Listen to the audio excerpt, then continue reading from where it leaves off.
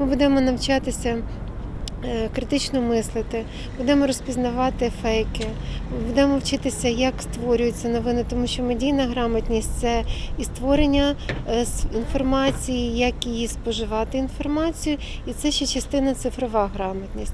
Тобто всі ці аспекти медійної грамотності ми за місяць проходимо в цій школі.